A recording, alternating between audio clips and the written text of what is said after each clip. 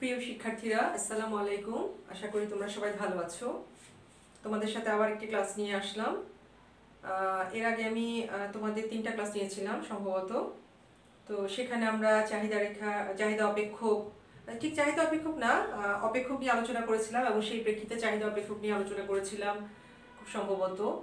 আর মনে হয় ঢাল নিয়েও কথা বলেছিলাম। বিভিন্ন রেখার ঢাল। বিশেষত আমরা যেহেতু আসলে চাহিদা চাহিদা যোগান নিয়ে বেশি পড়াশোনা করছি সেই হিসেবে আমাদের সব কিছুর মধ্যেই আসলে চাহিদার কথাগুলো চলে আসে। আর চাহিদার কথাগুলো যখন আমরা ভালো মতো বুঝে যাব তখন আমাদের জন্য যোগানটা বুঝতেও আসলে সহজ হয়ে যাবে। তো যাই হোক আমরা আহ, যা- যতটুকু তোমাদের কতটুকু মনে আছে আমি জানি না।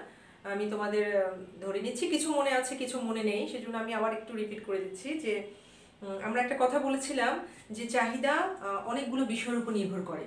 হ্যাঁ যে ফাংশন অফ দাম, তারপরে আয়, তারপরে ধরো জলবায়ু হ্যাঁ পরিবারের সদস্য সংখ্যা, এরকম অনেকগুলো বিষয়ের উপর নির্ভর করে।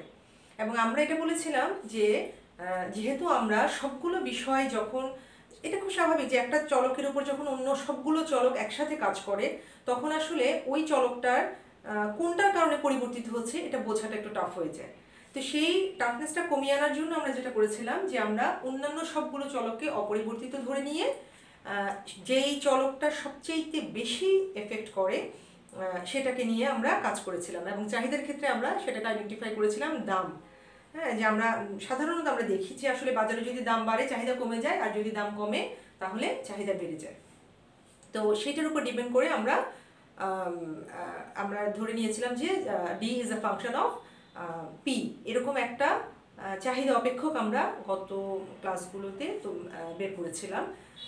তো এই যে বলছি যে অনেকগুলো চলক রয়েছে, সেই চলকগুলো অপরিবর্তিত থাকছে, এটা আমরা ধরে নিয়ে কাজ করছি। কিন্তু আসলে কিন্তু বাস্তবে অপরিবর্তিত থাকে না। কোনো চলকই অপরিবর্তিত থাকে না। কিন্তু ওই যে বললাম যে সিম্পলিসিটির জন্যই আমরা ধরে নিই যে অন্য চলকগুলো অপরিবর্তিত আছে। এখন প্রথম আমরা আজকে যে জিনিসটা নিয়ে আসলে আলোচনা করব, তোমরা দেখতে পাচ্ছ বোর্ডে আমি লিখে রেখেছি, চাহিদার সংকোচন ও প্রসারণ। আমি শুধু, আমি এই একটা টপিকস না আরও একটা টপিকস আছে, চাহিদার হ্রাস বৃদ্ধি। আমরা দুটো টপিকস একসাথে আলোচনা করব। এখন এই দুটো জিনিস আসলে এই এই যে নির্ধারকগুলোর কথা বললাম, এটার সাথে ভীষণভাবে রিলেটেড মানে এই নির্ধারকগুলো কতখানি পরিবর্তিত হচ্ছে বা পরিবর্তিত হলে কি অবস্থা হচ্ছে, সেটার উপর ডিপেন্ড করেই আসলে এই দুইটা অবস্থা আমরা পাই। হুম, আমরা একটা যেমন আমরা এখন বলছি কি যে আমরা যখন অন্যান্য চলকগুলো অপরিবর্তিত ধরে নিই শুধুমাত্র দামটা তখন পরিবর্তিত হয় এবং দামের পরিবর্তনের ফলে চাহিদার পরিবর্তন হয়। এখন এই দামের পরিবর্তনের ফলে চাহিদার যে পরিবর্তন হচ্ছে সেই জিনিসটাকেই আমরা বলছি চাহিদা সংকোচন এবং প্রসারণ। আর যখন আমরা আমরা তো জাস্ট ধরে নিচ্ছি যে অন্যান্য চলকগুলো অপরিবর্তিত রয়েছে কিন্তু আসলে অপরিবর্তিত নেই। কিন্তু যখন সেক্ষেত্রে আমরা যদি এটা বিবেচনা করি যে অন্যান্য কোনো একটা চলক, কোনো একটা কারণে কোনো একটা চলক খুব বেশি মাত্রায় হয়তো চাহিদাকে এফেক্ট করছে।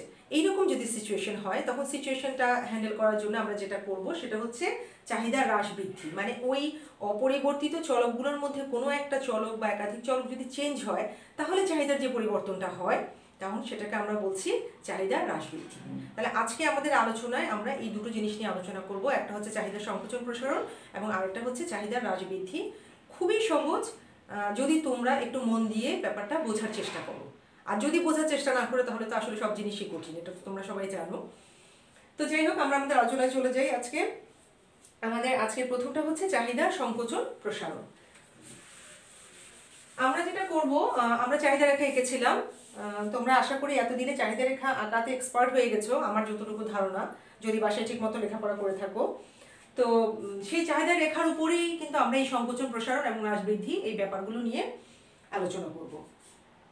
আচ্ছা বইয়ের সংখ্যাটা একটু দেই। আমি তোমাদেরকে কোনো দ্রব্যের চাহিদা অপেক্ষক যে সকল বিষয় বিবেচনা করা হয়, তার মধ্যে অন্যান্য বিষয় অপরিবর্তিত অবস্থায়, শুধুমাত্র আলোচ্য দ্রব্যের নিজ দামের পরিবর্তনের ফলে চাহিদার পরিমাণের যে পরিবর্তন ঘটে, তাকে চাহিদার সংকোচন প্রসারণ বলে। মানে অন্যান্য যে চলকগুলো, সেগুলো অপরিবর্তিত অবস্থায় যে দ্রব্যটা নিয়ে আলোচনা করা হচ্ছে, সেই দ্রব্যটার নিজ দামের মানে সেই দ্রব্যটার দামের পরিবর্তনের ফলে যদি সেই দ্রব্যটার চাহিদার কোনো পরিবর্তন হয়, তাহলে সেটাকেই আমরা বলছি চাহিদার সংকোচন প্রসারণ। এখন তোমাদের মাথায় ছোট্ট একটা প্রশ্ন আসতে পারে যে দ্রব্যের নিজ দামের পরিবর্তন হলেই তো সাধারণত চাহিদা পরিবর্তন হবে। এটা কি আবার অন্য কোনো দামের পরিবর্তন আছে নাকি?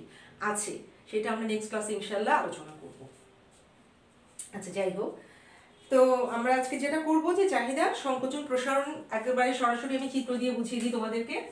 প্রথমে আমরা একটা চাহিদা রেখা আঁকছি। এটা হচ্ছে ডি ডি চাহিদা রেখা। ভূমি অক্ষে আমরা আগেই বলেছিলাম কোয়ান্টিটি পরিমাপ করি এবং লম্ব অক্ষে পি পরিমাপ করে থাকি। এখন দেখো যে পি মানে কি? পি মানে দাম এবং কিউ মানে চাহিদার পরিমাণ। এখন কোনো একটা দাম ধরি, ধরো পি ওয়ান ধরো পি ওয়ান দাম। পি ওয়ান দামে কোনো একটা দ্রব্যের দাম যখন পি ওয়ান তখন চাহিদা কিউ ওয়ান এবং এটার একটা আমরা চাহিদা রেখার একটা পয়েন্ট পেলাম এ আসলে আমি আজকে একটু উল্টা থেকে আঁকছি। এর আগে আমরা দাম আর কোয়ান্টিটি নির্ধারণ করে যে বিন্দুগুলো পেয়েছিলাম, সেগুলো যোগ করে চাহিদা রেখে এঁকেছিলাম। আর আজকে আমি সরাসরি চাহিদা রেখে দিয়েছি এবং তারপরে আমি এগুলোকে আইডেন্টিফাই করছি। কোনো সমস্যা নাই জাস্ট জিনিসটা বুঝতে পারলেই হলো।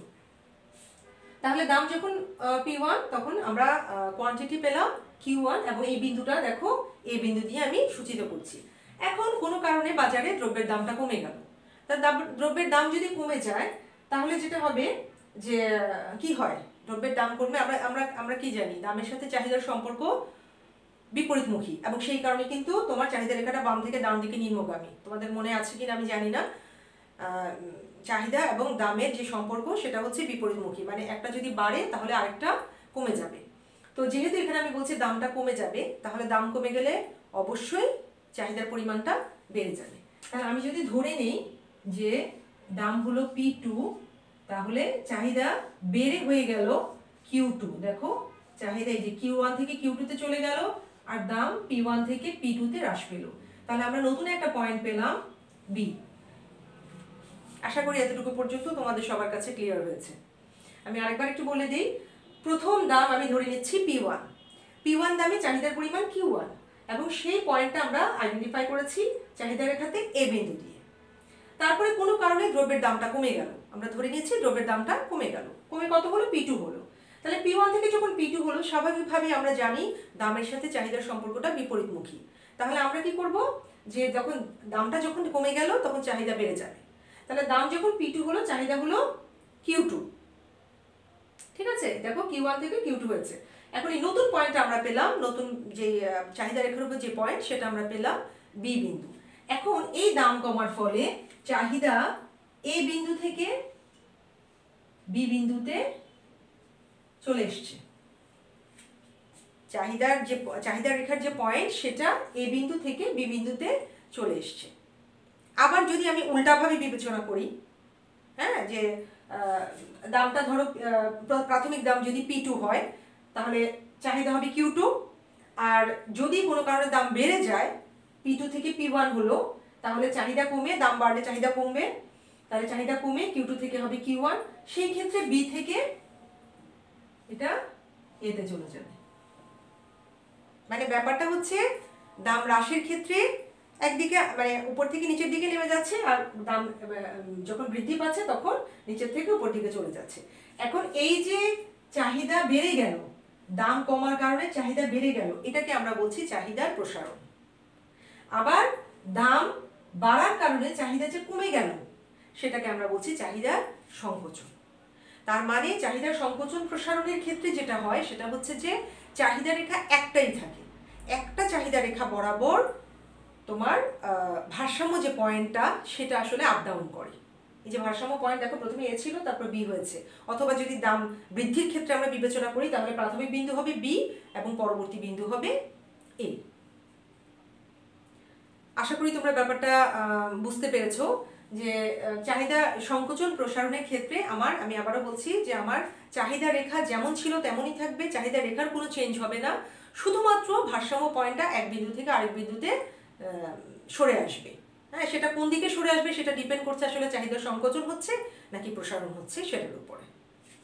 এই হচ্ছে আমাদের চাহিদার সংকোচন, প্রসারণ। খুবই সহজ একটা টপিকস এবং খুবই ইম্পর্টেন্ট একটা টপিক কারণ এই, এই- ধরনের কোয়েশ্চেন প্রায়ই আসে বোর্ড কোয়েশ্চেনে এই চাহিদা সংকোচন, প্রসারণের উপরে প্রায়ই প্রশ্ন আসে। আচ্ছা এরপরে আমরা আচ্ছা একটু মুছেই ফেলি না হলে আঁকতে অসুবিধা হবে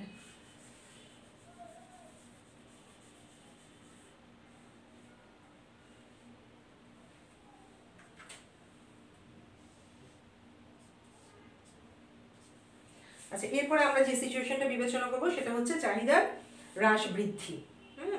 চাহিদার হ্রাস বৃদ্ধির ক্ষেত্রে যেটা হয়, চাহিদা রেখার স্থানান্তর ঘটে। আগেরটাতে কিন্তু চাহিদা রেখার কোনো স্থানান্তর ঘটে নাই। একই চাহিদা রেখা বরাবর শুধু ভারসাম্য বিন্দুটা চেঞ্জ হয়েছে। কিন্তু এই ক্ষেত্রে ভারসাম্য বিন্দুগুলো চেঞ্জ হওয়ার জন্য একই চাহিদা রেখায় হবে না।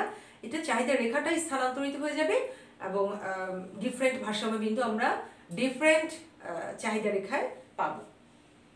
যাই হোক, একটা উদাহরণ দিই। সেটা হলো আচ্ছা এটার এই সংজ্ঞাটা একটু বলে নিই। সেটা হচ্ছে যে, চাহিদা অপেক্ষকে বিবেচ্য বিভিন্ন বিষয়ের মধ্যে যে আলোচ্য দ্রব্যের দাম, আমরা একটু আগে বলেছিলাম, আলোচ্য দ্রব্যের দাম যদি পরিবর্তিত হয়, অন্যান্য বিষয় অপরিবর্তিত থেকে, তাহলে সেটাকে আমরা বলছি দামের পরিবর্তনের ফলে। যদি চাহিদার পরিবর্তন হয়, তাহলে সেটা হচ্ছে চাহিদা সংকোচন প্রসারণ। আর এখন হচ্ছে দাম স্থির থাকবে অন্যান্য যে চলকগুলো রয়েছে, সেই চলকগুলোর মধ্যে কোনো একটি বা দুটি পরিবর্তিত হতে পারে, যার ফলে চাহিদা পরিবর্তিত হবে। যদি এরকম সিচুয়েশন হয়, তখন চাহিদা হ্রাস বৃদ্ধি। যেটা যে পরিবর্তনটা হয়, সেটাকে আমরা বলি চাহিদা হ্রাস বৃদ্ধি। মানে ওই সিচুয়েশনে অন্যান্য চলক অপরিবর্তিত, দাম পরিবর্তিত। চাহিদা সংকোচন প্রসারণের ক্ষেত্রে। আর চাহিদা হ্রাস বৃদ্ধির ক্ষেত্রে দাম অপরিবর্তিত, কিন্তু অন্যান্য যে কোনো একটা চলক পরিবর্তিত হয়ে যাচ্ছে, যার কারণে চাহিদাটা পরিবর্তন হচ্ছে। মানে আমরা ধরে নিচ্ছি যে অন্যান্য চলক অপরিবর্তিত থাকবে। কিন্তু আমাদের ধরার উপর তো সবকিছু ডিপেন্ড করবে না। বাস্তবে আমাদের ধরার উপর সবকিছু ডিপেন্ড করবে না। এটা হতেই পারে যে অন্যান্য কোনো একটা চলক পরিবর্তিত হয়ে গেল। হয়তো দেখা গেলো বাজারে দ্রব্যের দামের কোনো পরিবর্তন হয়নি। যে দ্রব্যটা তুমি খাও বাজারে, সেই দ্রব্যটার দামের কোনো পরিবর্তন হয়নি। ধরো তুমি আপেল খুব পছন্দ করো। আপেল বাজারে দ্রব্যের দাম একশো বিশ টাকা, একশো বিশ টাকায় রয়ে গেছে। কিন্তু হঠাৎ করে তোমাদের বাসায় আগে যেখানে এক কেজি আপেল আসতো, সেখানে সেখানে এখন হয়তো দুই কেজি আপেল আসছে। তুমি খুব অবাক হয়ে গেলে, ব্যাপার কি, ঘটনা কি? তোমার আব্বুকে জিজ্ঞেস করলে, যে আব্বু, সারা সব সময় তুমি আমার জন্য মাসে এক কেজি আপেল এনেছো, এখন হঠাৎ করে দুই কেজি আপেল কেন আনলে? বাজারে কি আপেলের দাম কমে গিয়েছে? তখন তোমার বাবা বলছে, না, বাজারে আপেলের দাম সেম আছে। তাহলে ঘটনাটা কি হলো? এখন তুমি তো আর ইকোনমিক্সের থিওরির সাথে মেলাতে পারছ না। যেহেতু তুমি এখন একটু একটু ইকোনমিক্স মানে বুঝ বুঝতে শিখেছো, একটু একটু করে পড়তে শিখেছো যে টিচার তো বলল এরকম এরকম, এখন আমি তো বুঝতে পারছি না। বাজারে দামও চেঞ্জ হলো না, কিন্তু আমার আব্বু বেশি করে নিয়ে আসলো, তো এই ক্ষেত্রে ব্যাপারটা কেমন হয়ে গেল?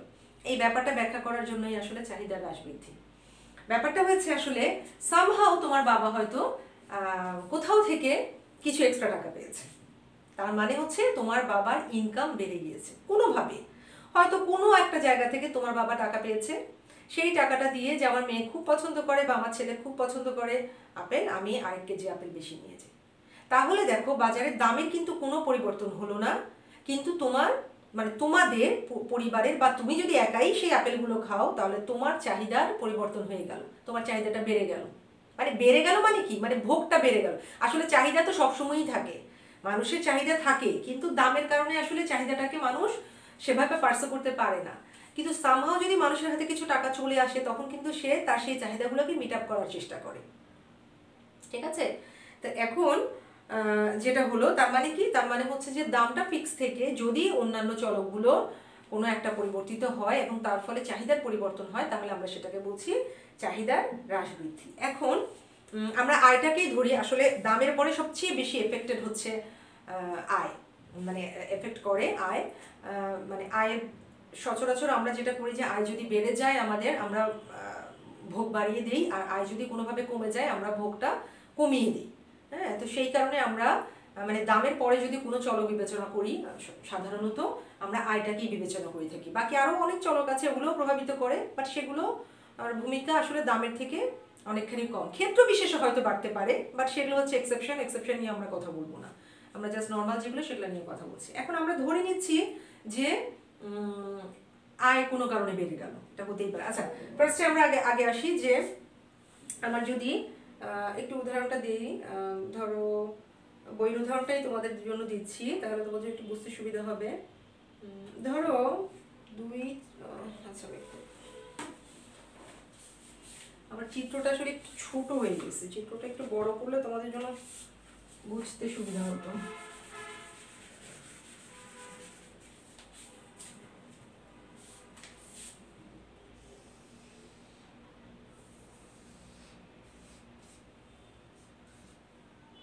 ঠিক আছে এখন ধরো, এটা একটা চাহিদা রেখা। প্রথমটা হচ্ছে ডি ডি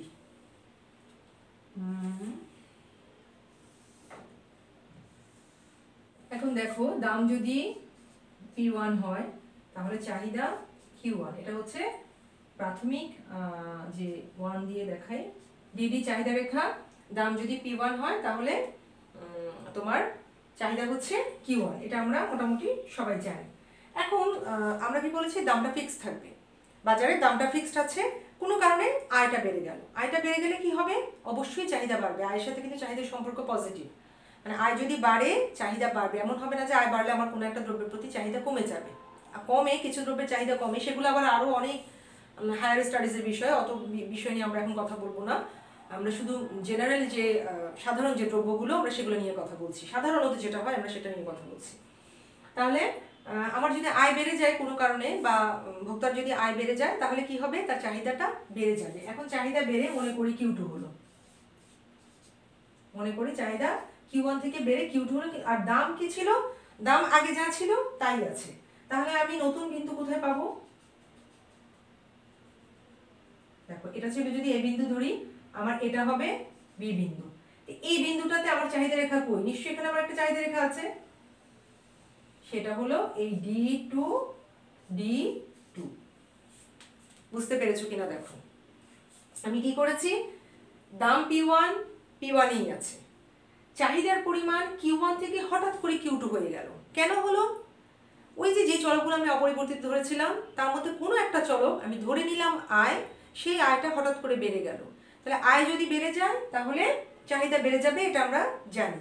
তো যদি এখন কোনো কারণে আয় বেড়ে গেছে, তাহলে আমার চাহিদা কিউ ওয়ান থেকে কিউ টু হয়ে গেল।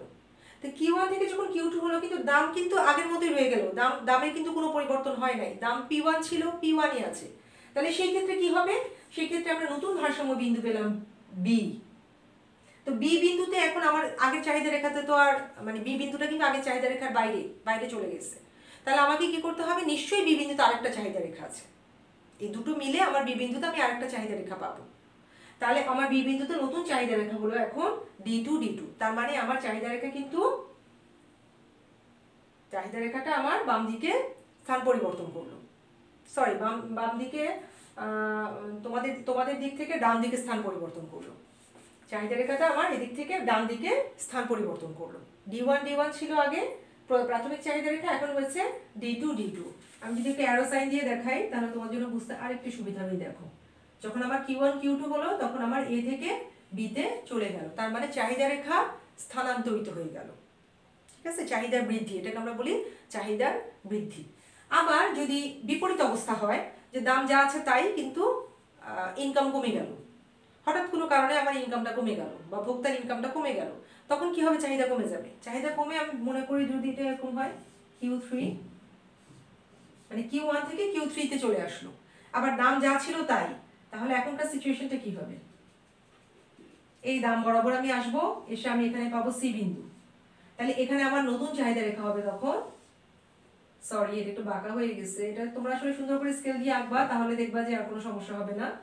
ডি থ্রি ডি থ্রি এইটা তখন, এই যে, উল্টা দিকে। চাহিদা যখন কিউ ওয়ান থেকে কিউ থ্রিতে আসলো, তখন ভারসাম্য বিন্দু এ বিন্দু থেকে সি বিন্দুতে চলে আসলো।